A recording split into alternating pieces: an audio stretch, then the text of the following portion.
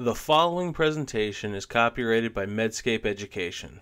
No use, broadcast, or recording of this presentation, or any part thereof, is permitted without the written authorization of Medscape Education. The following podcast is supported by an independent educational grant from Acadia Pharmaceuticals. Hello, I'm Dr. George Grossberg. I'm professor and director in the Division of Geriatric Psychiatry in the Department of Psychiatry and Behavioral Neuroscience at St. Louis University School of Medicine in St. Louis, Missouri. Welcome to our fifth and final episode in this podcast series on best practices in Parkinson's disease psychosis. Uh, this episode is titled Getting Current on Data for the Management of Parkinson's Disease Psychosis and Parkinson's Disease Dementia. Joining me today is Dr. Stuart Isaacson, who's director of the Parkinson's Disease and Movement Disorder Center of Boca Raton. First, kind of just a reminder of the definition of Parkinson's disease psychosis.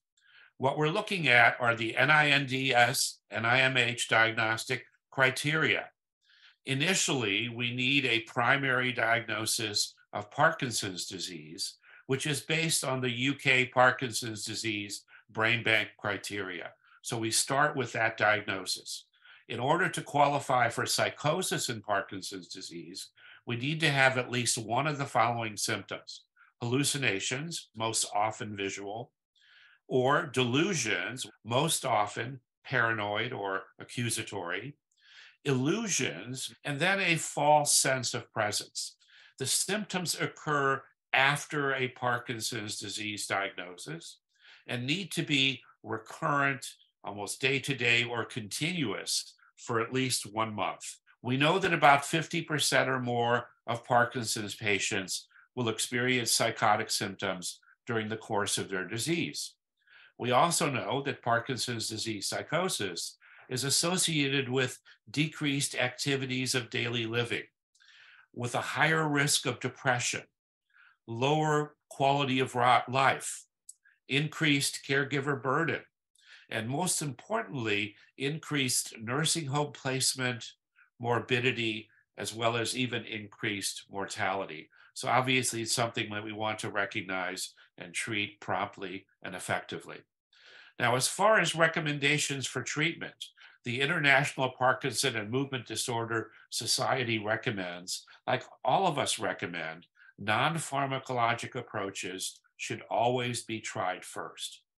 But if the non pharmacologic approaches are not working and the patient's quality of life is dwindling, or if they present potentially a danger to self or to others, then there may be pharmacotherapies, some of which are more effective than others.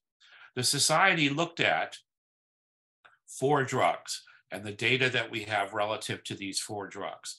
The first drug was clozapine.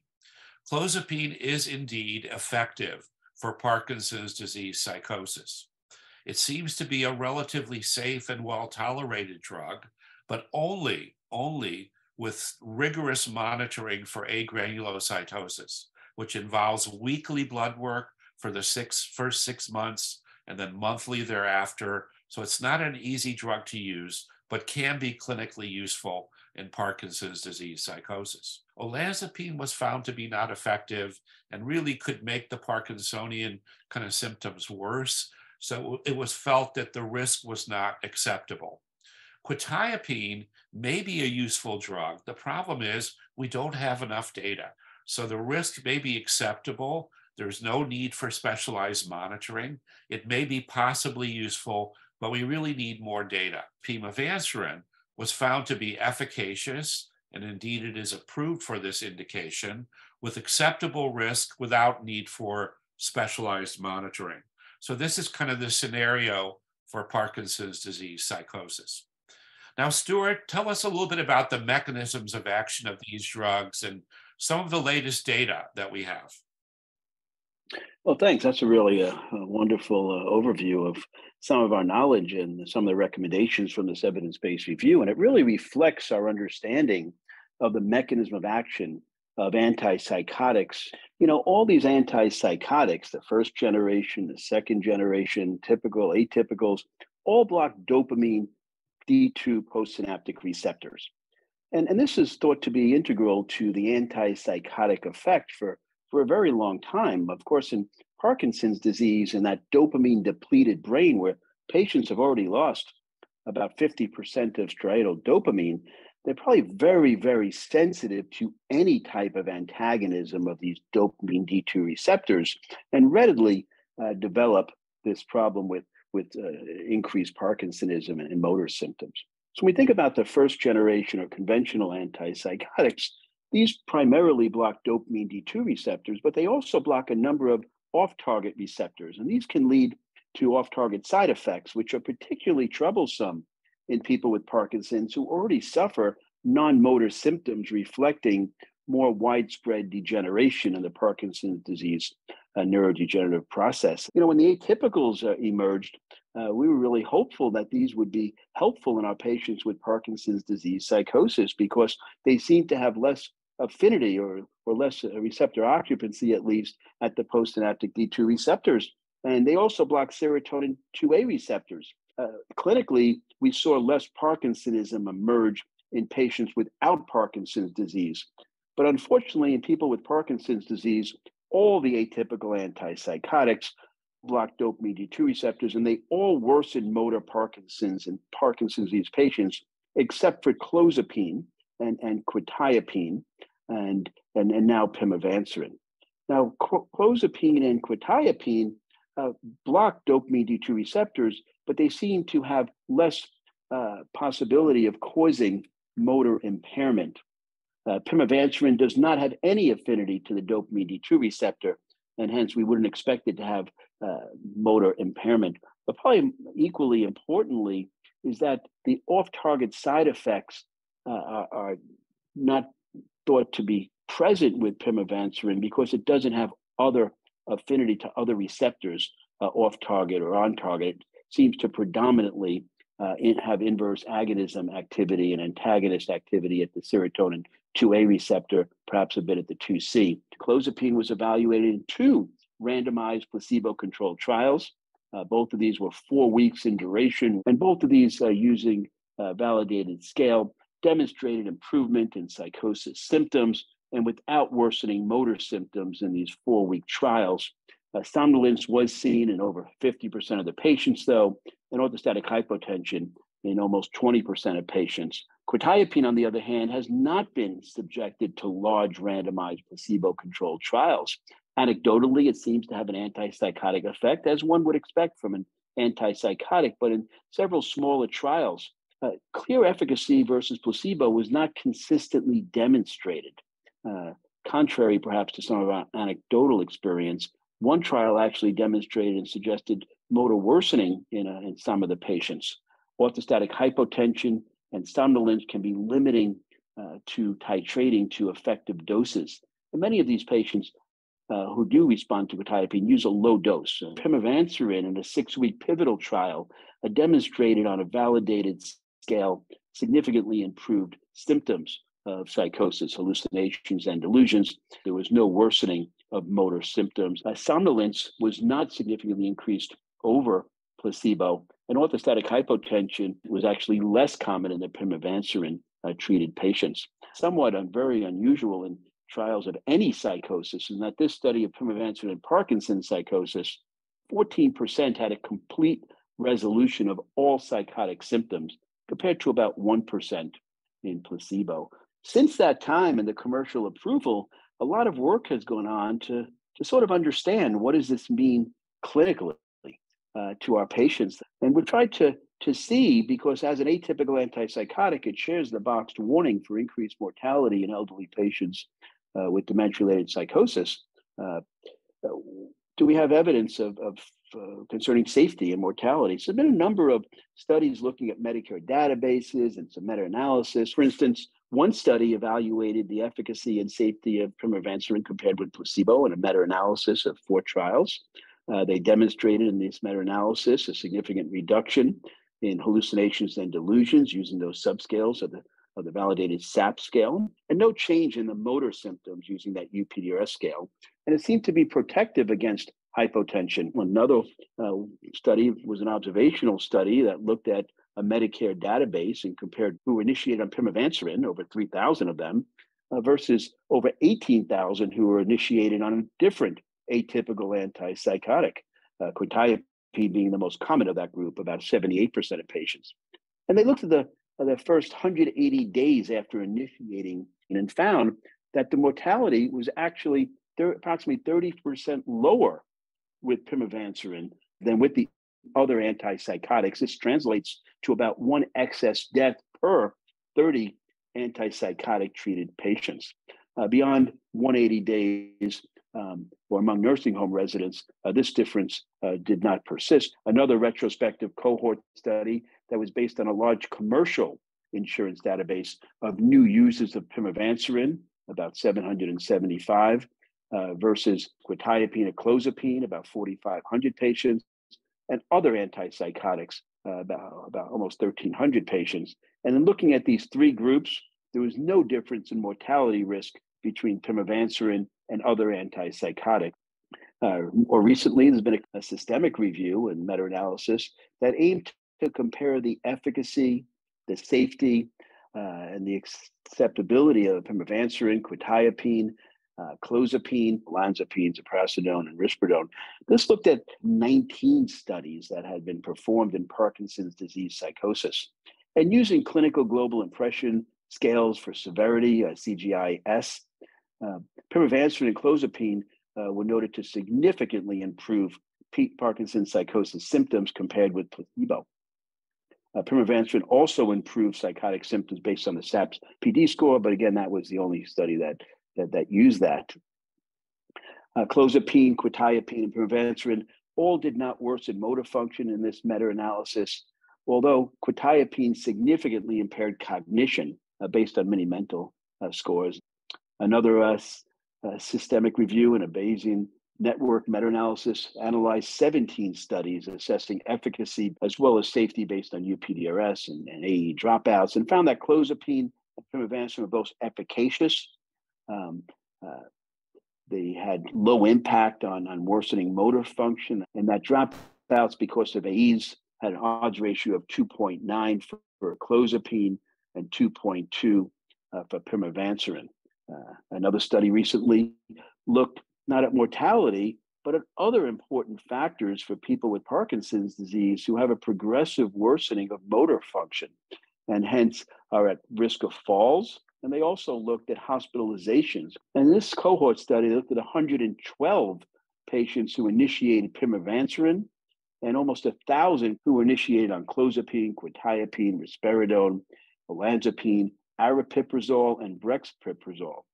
What they found was that the incident rate for falls and fractures was much lower for pimavanserin, 17.8 versus 40.8 for the comparators. Uh, it was unknown if this reflected orthostatic hypotension or worsening Parkinsonism leading to falls, but it was a significant difference in falls and fractures. We looked at the matched incidence rate ratio. They found an incident rate ratio of 0.71 for pimavanserin versus uh, the comparative initiators. Another one looked at healthcare utilization and mortality in a retrospective cohort study. They found that 12.1% of patients with Parkinson's psychosis used long term custodial care within one year of being diagnosed with Parkinson's psychosis.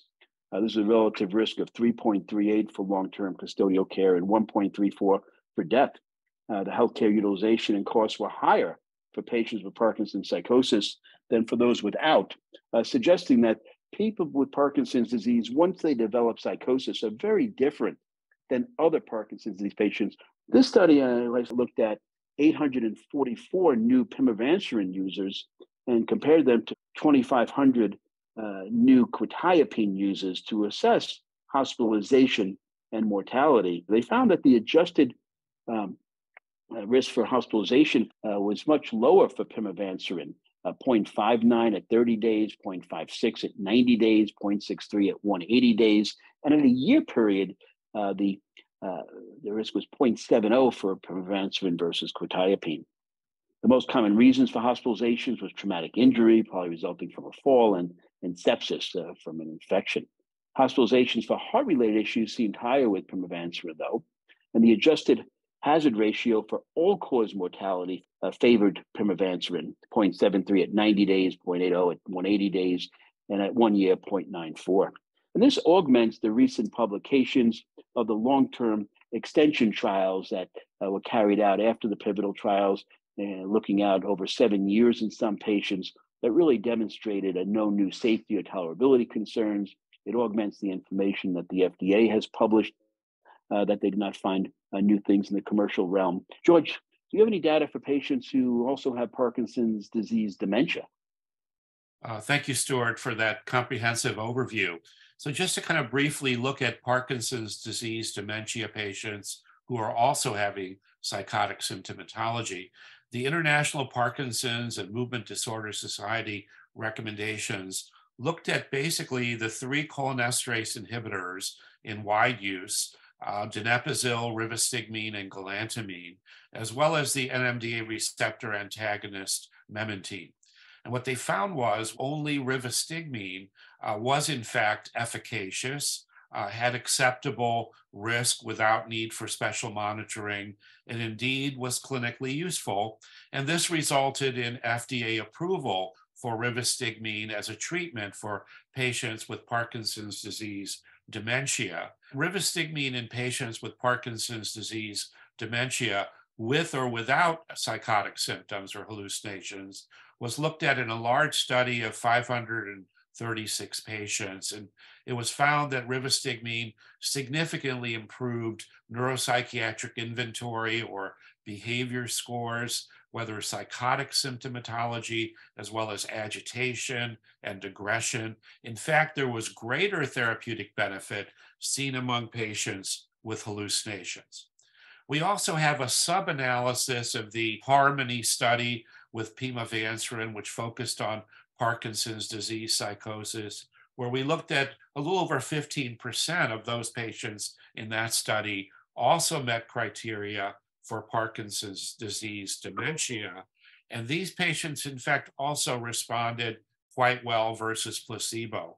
Uh, their likelihood of relapse was 13% in the pimavanserin group versus 28%, more than double risk for relapse in the placebo group. Let's keep in mind that there were some adverse events with pimavanserin, uh, headache, constipation, UTI, and asymptomatic QTC prolongation. So as we finish up, Stuart, I just wanted to get your input on a case I had very recently in the clinic. Uh, this is a gentleman in his late 70s with moderately advanced Parkinson's disease who's been having really, really dramatic psychotic symptomatology that are really impairing his quality of life and the quality of life of his care partner. Uh, I actually started him on, on pimavanserin. He's been on the optimal dose of 34 milligrams for three to four weeks now. We're seeing a very marginal effect a minimal effect. So, what are the the treatment options for this individual? If, if this was your patient in your clinic, what would you be thinking about? So it can be a very difficult situation because we're trying to balance both uh, maintaining good control of motor symptoms, especially reducing the risk of falls, and also treating psychosis symptoms. So we know with pimavanserin that we see the full effect by six weeks. And we don't see a greater effect by 10 weeks or later. Patients uh, had more improvement from four to six weeks. So I'd be hopeful uh, primarily that there'll be an increasing effect over uh, until six weeks. I think that we have to look at his Parkinson's medicines. I think the in Parkinson's psychosis, we think perhaps in many patients there's a serotonergic 2A overactivity, sort of the fire burning, and then the dopamine drugs adds fuel to the fire. So maybe temporarily we can take away some of the fuel of the dopaminergic medicines if they tolerate it uh, motor wise. Uh, so that would be a second thing. It can be difficult in the short term. Perhaps we have to add or change the medication. We know that clozapine uh, has demonstrated efficacy, but requires blood monitoring uh, to get into a registry before they can get it.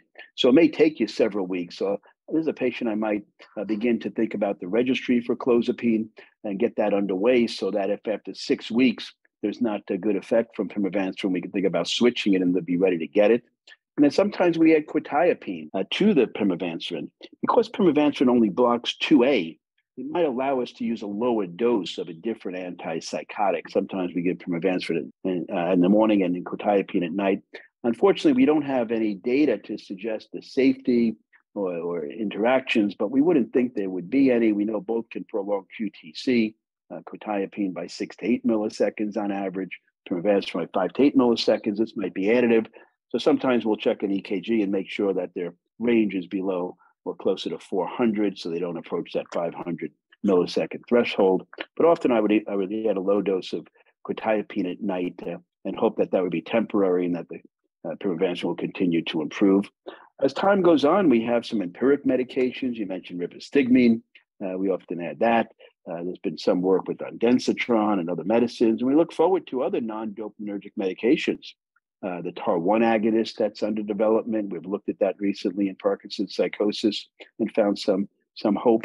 Um, because when you look at the 25% of patients in the PIM pimavanserin pivotal trial that did not have improvement, because there's such a, uh, a high affinity serotonin 2A receptor inverse agonist, we might assume that those patients are not driven by serotonin 2A. They must be driven by a different uh, network of causing psychosis. So I think about that as well.